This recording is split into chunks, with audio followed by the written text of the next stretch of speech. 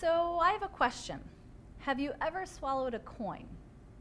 Almost everyone I've talked to has swallowed a coin at one point in their lives, or at least knows someone who has.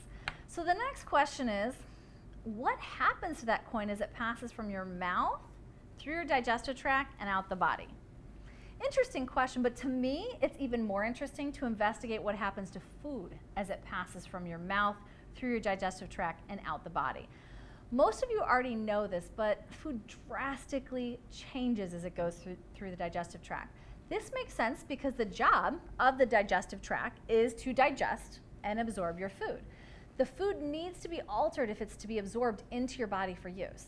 We can alter the food mechanically through chewing, churning, mixing, segmentation, and peristalsis, and we can alter the food chemically using enzymes.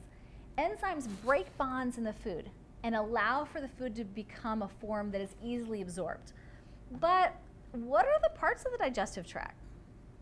If we start at the beginning, food enters your mouth. You chew it where it mixes with saliva containing salivary amylase.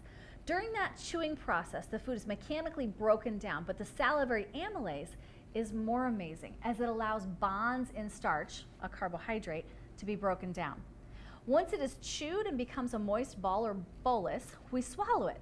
So although we have six nutrients, one type, carbohydrate or starch, is significantly chemically digested in the mouth. Next, the bolus travels down a long hollow tube we call the esophagus. The end of the esophagus empties into the stomach.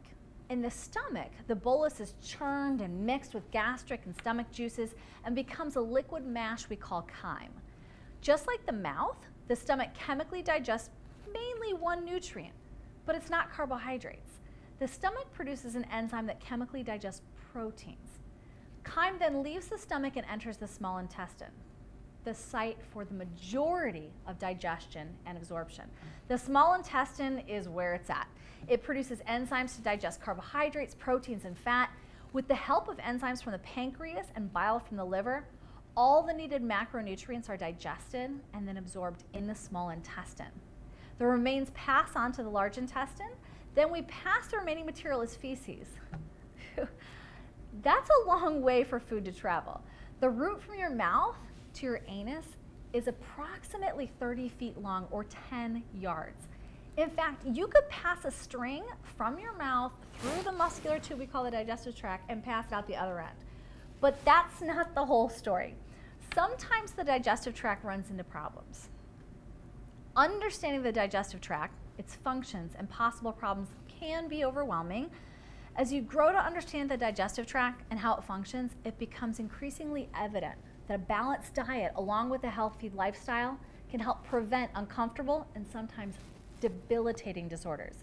When you dive deeper into the reading and supplemental materials, you will better understand how food can leave your dinner table and successfully become part of the living fabric of your body.